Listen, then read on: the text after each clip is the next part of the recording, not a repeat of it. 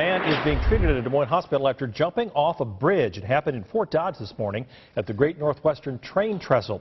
Police were called there just before 9 o'clock for a man threatening to jump. All trains on that line were stopped. Officers talked the man down after four hours.